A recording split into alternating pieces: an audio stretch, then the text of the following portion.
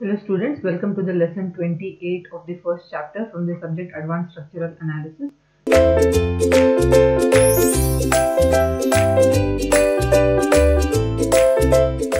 So now so far we have done problem related to beams and frames. In frames we have done two types.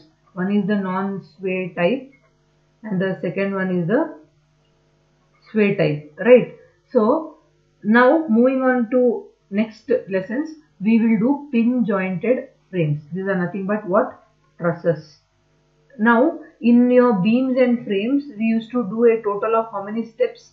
We used to do total of 14 steps if you remember, right? Now this lesson is regarding the number of steps or the procedure which we have to follow when we are doing pin jointed frame problems. Okay, so here also the approach we are using is stiffness transformation approach. So here we have only nine steps. Few of these steps will not be doing when we are doing the problems related to pin jointed frames. So let's see the quick review on the nine steps which we have to do when we have to solve a problem of a pin jointed frame that's nothing but the truss using the stiffness transformation approach. So let's get started. So your first step will be your determination of degrees of freedom. It is similar to what you do in your beams and frames. Okay, here you will not have moment degree of freedom. That is the only thing you have to remember. So because trusses are there, there will be no movement at the joints. There will be only horizontal displacement and vertical displacement. Horizontal displacement you can call it as u and vertical displacement you can call it as v. Say, so there, there can be only two at a given joint. Right. Next moving to the next step is as usual assigning your global and local coordinates. So the global coordinates will be equal to what? Your degree of freedom. Your local number of members. In beams, in beams and frames it was multiplied by 2 but here it's just directly the number of members. Okay. So, so your next step is the calculation of your load matrix PL. So the size of PL is what? Global coordinate into 1 or nothing but degree of freedom into 1. Now in this particular uh, pin jointed frames problem, we don't have to find, find your PE nor you have to find your fixed end moments nor you have to find your EQJLs because all the loadings in the pin jointed frames are at the joint. So whatever external loadings are there in the pin jointed frames, they are at the joints. No load will be there on the members. If they are on the members, they are not called as pin jointed frames. Then they will be called as rigid jointed frames. Okay. So that's the reason you don't have to convert the member load into your point load. Converting your member load into point load is nothing but EQJL. Right. So that is not there.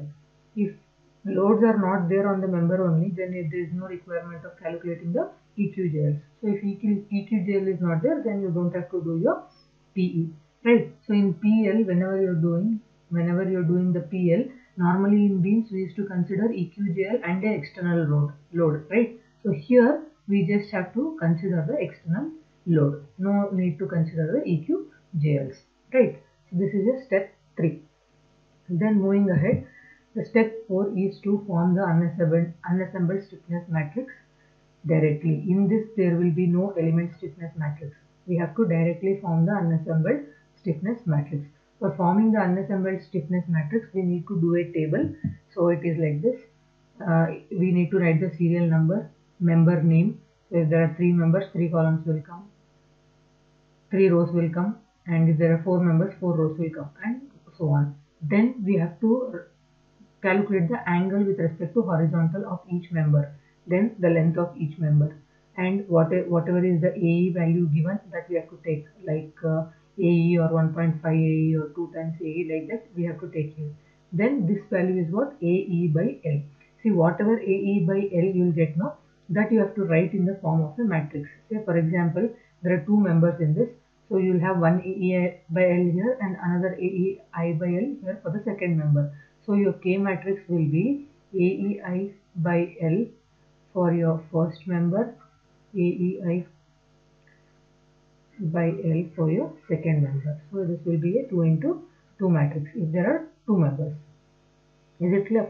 So like that you have to go on writing. This is how you will form the unassembled stiffness matrix. More details we will see when we are doing the problem. Okay. So the next step is to find the displacement transformation matrix. Then after that what is the step 6?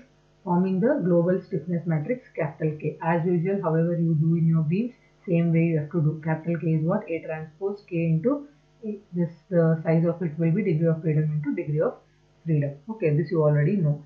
Then coming to a step 7 also you know. That's finding your displacement transformation matrix delta which is nothing but K inverse into PL. PL you might have already found it in your step 3 in this case. Okay. Then your step 8 is to find the element forces.